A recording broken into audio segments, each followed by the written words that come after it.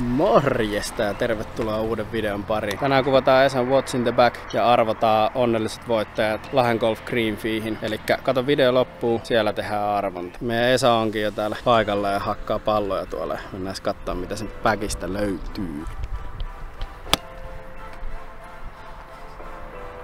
Hyvinkö lähti? Hyvin lähti. No niin, moro kaikille. Katsotaan vähän mitä mun päkistä löytyy. Mulla on tällä Titleistin kantopäki. Itse asiassa sama kuin Juuso. Mä tykkään tosta tosi paljon, tää on tosi kevyt. Pystyy kantaa välillä, jos kannatuttaa. Ja mitä mailoja löytyy? Lähdetäänkö vetkeistä? Lähdetään. Just tälle kaudelle osti uudet vetket. Löytyyhän se. Eli Mulla on 56 ja 50 asteiset Titleistin Vokit SM9. Toinen on 56 niin kuin hiekkamaalla, se on 12 bounceilla. Ja toinen on sitten tollain, tuo 50 on 8 bounceilla. F-grind on tuo 50 ja D-grind on sitten tuo 56. On tykännyt tosi paljon. Näissä onhan nämä stokkivarret. Mulla on noissa omissa raudoissa vähän jämäkämmät, painavammat varret, mutta nämä on tota... Näistä mä oon tykännyt tosi paljon. Sitten mulla löytyy tällainen mettämailla 52 Old Trusti. Aina kun on niin kuin jossain, missä on vähänkin niin kuin kiveä tai jotain, niin tuolla voi vetää niin kuin, sille voi antaa rakkautta, ei haittaa. Jos tuohon jotain pitäisi vaihtaa, niin ehkä tuohon voisi laittaa 60 tuon mettämailan tilalle. Sitten rautoina löytyy, olisikohan nyt kolmatta kautta? Neljättä Ehkä. kautta. Kolme tai neljä. Taylor Madein P790 vitsistä neloseen. Mun ei silloin pitänyt edes ostaa telluja, mä halusin titut, sit mä kävin range demopäivillä ja sit mä tota, nää lähti ihan pirun hyvin, niin mä ostin nää. Nää ei on ensimmäiset versiot, vaan nää ne toiset. On tykännyt ihan sikana. Ny, ny, nykyisellä. Ja näissä on tota, itse tota Project Xn 6.0 varsi. Eli nämä on aika painavat, mutta mä tykkään. Pysyy hyvin hallinnassa se. Ja sit niistä taitaa olla kaksi astetta, mutta itse asiassa flättiikin vielä. Mulla oli silloin aika paljon droota, mikä oli vähän outo, mutta sitten niitä flätättiin ja nyt mä oon niille hankkinut sen droon kanssa. Flätillä on ehkä vähän vaikeampi löydä droota. Tällä kaudella mä itse asiassa mietin, että mä olisin ostanut Titun T-satkut tai se T100S. Ne, niitä on vielä ostettu. Katsotaan vähän, jos tulisi jotain demopäiviä, että kävis kokeilee Tituu ja ehkä ne Wilsonin Forgetit olisi kans hyvä. Voit laittaa vaikka kommentteihin, mitä, mitä mieltä oot niistä tai onko sulla jotain hyviä mailla vaihtoehtoja. Mä en ehkä halus tällaisia masolta tai tällaisia, tällaiset foamiraudat, missä on se foami siellä sisällä. Mä halus sellaisia, mulla on täydet forgetit. No sit mulla löytyy seuraavana nelosen jälkeen löytyy Udi 3, Cobran tällä King Utility Catalystin 80 6.0 varrella. Tää on ihan huippumailla. Täällä pääsee varmaan sinne 220 plus 20 plus. Tiiltä on ihan hemmetin hyvä, tarkka maila. Tekiltäkin sillä pystyy lyömään tosi hyvin. Se on niinku mun puu vitosen tilalla tai hybridin tilalla. Yleensä nelosen ja kolmosen, puu kolmosen välissä on joku maila, niin mulla on tuo utility. Mä oon tykännyt sit tosi paljon. Aika anteeksi antavaksi on fat. Seuraavana löytyy tää, mistä mä laitoin joskus IGC, eli Pingin puu vitonen, mutta tätä on vähän kränkätty niinku alaspäin, eli tää on niinku puu nelonen, 16 asteinen. Mulla on se Titleistin TSI 2 puu kolmonen, mutta se on vähän nyt ottamassa lepii, miettii tekosia ja nyt mulla on tää pingi tosissaan. Tää, tää menee sen 230 ehkä. Tää menee vähän pidemmälle kuin tuo Udi, mutta tää nousee paljon korkeammalle, niin jos pitää greenille ländää, niin se on aina parempi, kun tulee korkeammalle. Katsotaan, jos joskus se titu tulisi takaisin päkiin. Katsotaan vielä varsi. Mä en tiedä mikä varsi. Tässä on tää stokkivarsi. AV Seriesin oranssi. Stiffi 75. Tää varsi on kyllä ihan huippu. Mä oon tykännyt.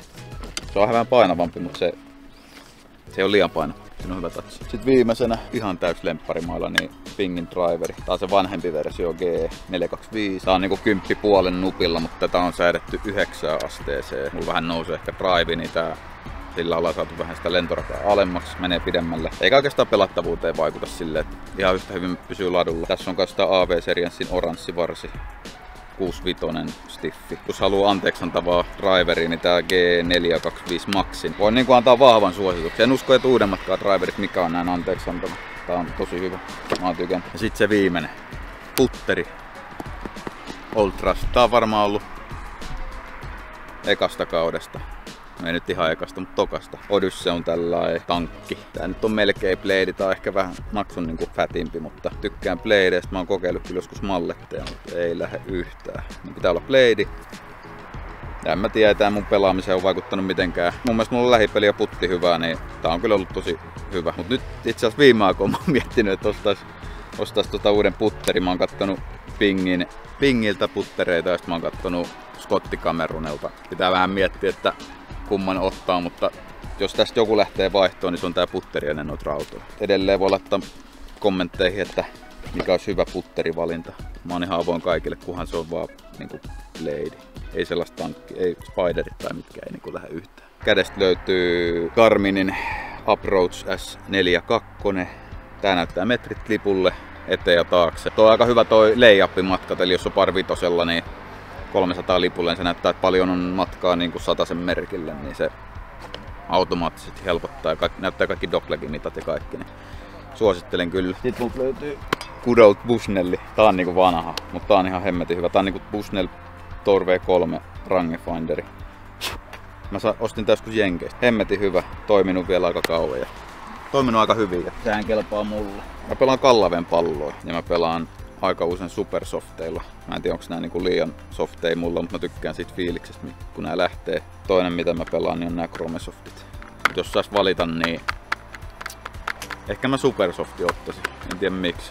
Mä veikkaan, että se on liian pehmeä mulle, mutta Silma on pelannut mun ennätyskierroksen ja Silma on pelannut hyviä kierroksia muutenkin, niin ei se, ei se varmaan niin paljon peliä vaikuta. No sitten ainakin tiedät, tarpeellinen pyyhe, pyyhe pitää olla ja sitten tota, sateenvarjo löytyy. Mikäs pallonmarkkeri sulla? Siis mulla on tällä, tää on ekan kesän.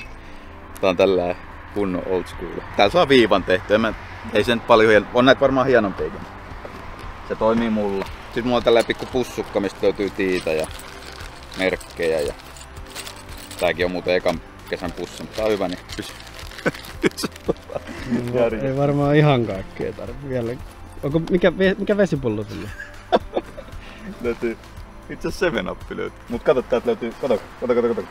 Täältä löytyy myös oikeasti aina kierroksella mukana, niin pitää olla. Ei ikinä tiedä, mitä, milloin tarvii energiaa, niin hyvä ottaa. Siinä oli mun väki, kommentoi mitä mieltä. Ei tää nyt mikään ihmeellinen ole. Mä en usko, että näillä välineillä nyt pystyy ihan niinku kaikkea parantaa. Kyllä se oma peli on aina oma peli. Mut nyt hei, laitetaan rulla pyörimään ja katsotaan kuka on voittaja. No niin, hyvät naiset ja herrat. Laitetaan lottokonearvonta päälle. Täällä on rulla, onnea kaikille tasapuolisesti. Nyt. Ja voittaja on... Mihin pysähti? Vieläkö pyörähtää? Onneksi olkoon. Niki Sipilä. 6259. Eli Niki Sipilä, oletan, että se on äällä. Laita meille sähköpostiin. Ja tervetuloa Lahteen, lähdetään pelaamaan.